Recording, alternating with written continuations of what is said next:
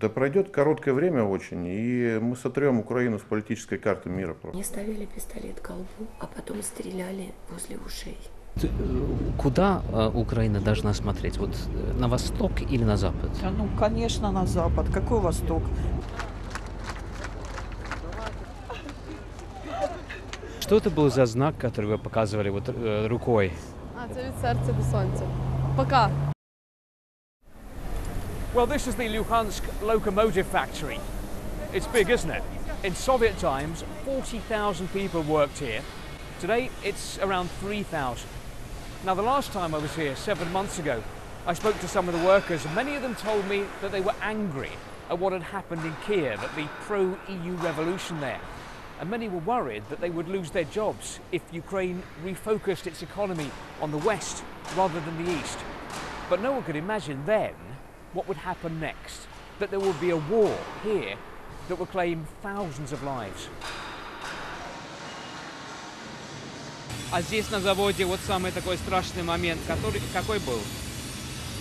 Ну, какой был момент, когда стреляли, стреляли, вот у нас Камброд здесь рядом, с Камброда стреляли, наверное, в город, здесь вот над цехом летали. А выборы вот эм, в Раду здесь не, не будет, да? Ну, Я думаю, нет, у нас же говорят, что теперь у нас э, вроде как своя республика.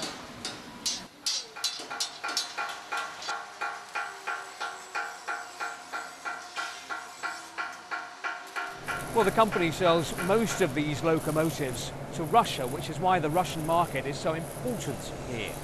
The factory closed down for three months because of the fighting, but as you can see, it's gradually getting on its feet again, although they don't have enough electricity for a full day's work. Они вот эти, что в Раду, они нам как-то, они нам не особо. Это они там пусть уже себе будут. А то, что наши выборы будут вот 2 ноября у нас местные советы, Верховный Совет, да, вот это наше, это как бы наше, мы правительство свое выбираем, это да. А то, что относится к Украине, это просто то, что из-за того, что сколько они здесь горя людям понанесли. During the fighting, 156 shells and rockets hit the factory. One shell hit this building here. And the shell which hit here was so powerful that fragments from it flew all the way down there, went through the shed which is by the gate, and the night watchman who was sitting there had a very lucky escape. Mind you, the factory got off pretty lightly compared with other parts of Luhansk. The militants that control the town say that on these ruins they're building their own state, the so called Luhansk People's Republic. And at a different factory, we caught up with the man who calls himself the head of state here, Igor Plotnitsky. He was opening a pharmaceutical plant across town. Открытие любого производства в государстве говорит только о том, что государство становится более сильным, более надежным, более уверенным для жителей этого государства. And it's a similar story 150 kilometres away in the neighbouring rebel republic. This is Donetsk, the capital of the self proclaimed Donetsk People's Republic. And the militants here are busy state building too. They've created their own police force, their own tax inspectorate. And from the campaign posters around town, you can see there's going to be an election here too, but not for the Ukrainian parliament. Well, this is the head of the Donetsk People's Republic's election commission, and he's giving a press conference now about the election they're going to be having here for a local parliament and a local head of state. Донецкая Народная Республика э, самостоятельное, самодостаточное государство, которое находится в состоянии войны с государством Украина. Это так. А насчет вот территориальной э, целостности, о, о которой Киев говорит? Территориальной целостности, целостности чего? Какого субъекта? Ну, Украины. Да пройдет короткое время очень, и мы сотрем Украину с политической карты мира просто. Meanwhile, many of the shops here are boarded up. Most of the banks aren't working. There's heavy fighting going on still on the edge of the city in places, and reports of infighting amongst the rebels. So no one really knows here how this attempt to break away from Kiev is going to end. Well, not all of Donetsk region is under the control of separatist rebels. This territory we're driving through now is controlled by Ukrainian forces. Well, this is the town of Slavyansk, which a few months ago was the stronghold of the rebels. And this is the election headquarters of one of the independent candidates here, Irina Dovgan. Irina is from a village 100 kilometres from here. She says that when the pro Russia rebels took over there, she was determined to do what she could to help the Ukrainian army. So Irina's showing me photographs of food and clothes which she helped to uh, collect for Ukrainian soldiers. And, and these tomatoes, these are tomatoes which she grew in her own garden. And the cucumbers too. So in this photo, you can see that the, the soldiers are putting on the uniforms which Irina helped uh, to buy for them. Soon after, the militants came to Irina's home. She was kidnapped and taken to the city of Donetsk. Мне ставили пистолет к колбу, а потом стреляли возле ушей. Меня били по голове, меня били прикладами автоматов. Я закрывала голову, я ползала по полу, и у меня лились и слюни, и слезы, и сопли. Я кричала, пожалуйста, не надо, просто убейте меня. Like these captured Ukrainian soldiers paraded through Donetsk, Irina was made to stand outside in a Ukrainian flag with a sign saying she was a Ukrainian agent and a child killer. Может быть, три часа я там стояла, и они меня, кто-то подъезжал, и меня могли опять ударить прикладом, и меня били по лицу. Женщины меня били. Была пожилая женщина, которая шла, опираясь на палку. Она била меня этой палкой, била по голове, по спине. Today, Irina is free and running for parliament, but she's not finding much support in this part of eastern Ukraine. Здесь э, для меня очень большое разочарование. Здесь люди не знают меня. Они не восхищаются моим патриотизмом. Это им не интересно. Здесь совершенно другой мен- менталитет, чем у той части Украины. А кто-то говорит мне, что мало ты получила, надо было больше тебе плохого сделать раз ты помогала украинской армии. Well, this is the train station in Zaporizhia, about 500 kilometres from the Ukrainian capital. We're about to take train 732 to Kiev, and along the way, I'm going to try to talk to people on the train about where they think their country's heading.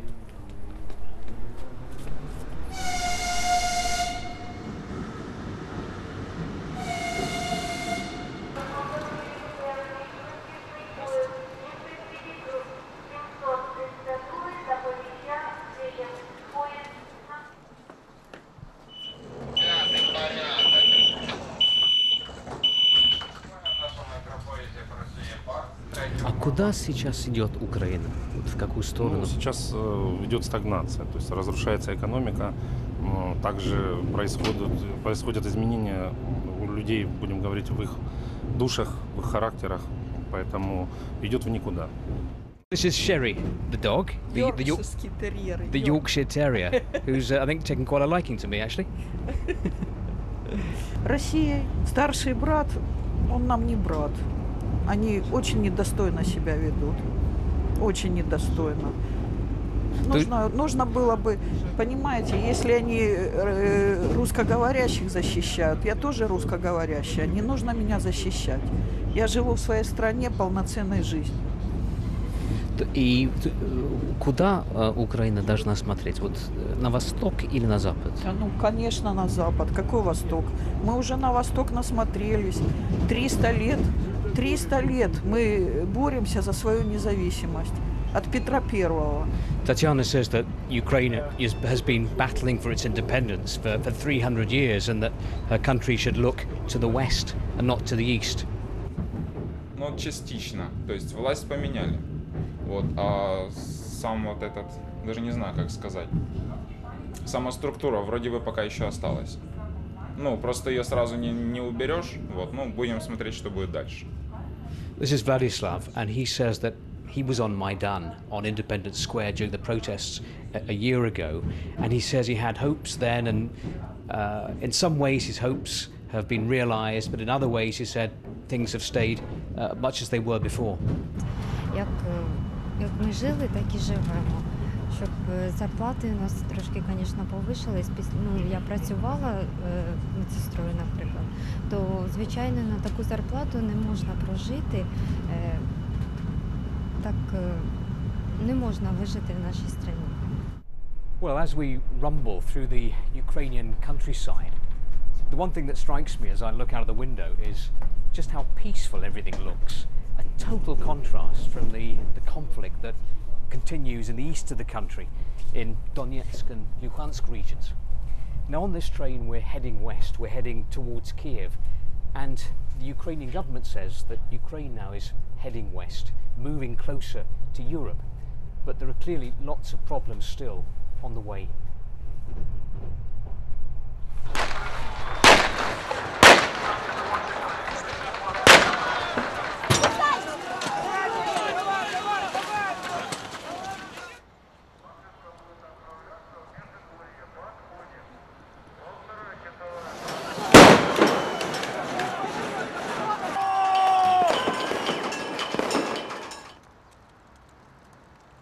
This is the Maidan, Independence Square, in the centre of Kiev. Eight months ago, more than 100 people were killed in and around here. There's a very simple memorial to the victims on this wall with their photographs, flowers, and candles and Ukrainian flags. And since then, thousands more people have been killed in the east of the country in the war there. These deaths really hang over Ukraine and have a direct impact on the election here. For example, among the candidates running for parliament are several military figures, including some of the leaders of Ukraine's volunteer battalions. And here on St. Sophia Square in Kiev, one of those battalions, the Azov, is holding a special ceremony. Some of their soldiers are packing up their things and heading off to fight in eastern Ukraine.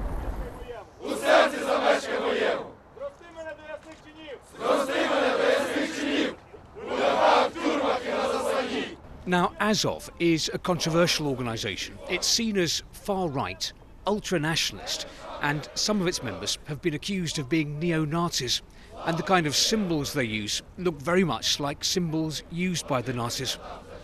This is not the political mainstream here, but what the war in the East has done is to give the far right in Ukraine a new prominence and a new confidence. And now the Azov commander, Andriy Bieletsky, is running for parliament. Много написано да, про там, Азов, что ультранационалистическое, даже вот там, э, неонацистское. Да? Вот какая идеология у, у Азова? Да, мы националисты, мы этого не скрывали никогда. А, Вся наша идеология вот в нашем знаке сочетается в пересечении букв И и Н. Идея нации. Among the farewells, there are far right salutes. Что это был за знак, который вы показывали вот э, рукой? А, це від серця до сонця. Пока. Well, by no means all the military men in this election can be considered ultra nationalists. Here's another of the runners and riders. This is Yevgeny Shevchenko from the Donbass Battalion. And he's running for parliament, he says, to prevent the politicians in Kiev from betraying the soldiers on the front line. У нас по факту есть два фронта. Один фронт вот здесь, сепаратисты, русские и наши местные украинцы, которые, к сожалению, зазомбированы пропагандой. А второй фронт у нас, к сожалению, в Киеве. Да, это огромное количество пророссийских политиков, пророссийских э, должностных лиц или просто коррумпированных политиков и должностных лиц. Как в Верховной Раде, так и в Министерстве обороны прежде всего. Потому что мы видели, как нас обеспечивают, вернее, как нас не обеспечивают. Власть нам дала автоматы, пистолеты и 6 пулеметов на, на батальон, на 450 человек. Форму, амуницию, все за свой счет. Когда я ехал на фронт, друзья мне помогали купить форму, э, бронежилет, каску, потому что ну, ничего вообще не было, никакого обеспечения. У нас сейчас э, участились случаи, что политиков э, кидают в мусорные баки. Э, И вот для них опасность, прямая опасность заключается в том, что если в самое ближайшее время ситуация не изменится по отношению власти к народу, к обычным людям, то эти же обычные люди э, заменят мусорные баки на столбы, на которых эти политики будут висеть. I found another reminder of the price Ukraine has paid. Beneath St Andrew's Church, there are posters with the portraits and the names of all the Ukrainian servicemen who've been killed. I've counted them here 450 on this poster alone, and hundreds more over there. And on this wall, another list with more names 504 soldiers who are still missing in action.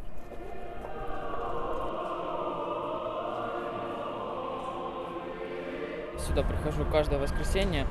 Э, человеку нужно во что-то верить. Очень много э, всяких вот бигбордов, плакатов. Меня просто внутри это, знаете, разрывает. Потому что эти деньги, которые... вот, Это бешеные деньги стоят. Эти деньги могли просто уйти на помощь армии. Well, here outside the Ukrainian Parliament building, there's a long line of police, very heavy security, for what is the final Parliament session ahead of this weekend's election. And I think what this security reflects is a nervousness, an edginess, really. There's been so much turmoil in this country over the last few months, and no one here really knows when that is going to end. Steve Rosenberg, BBC News, Kiev.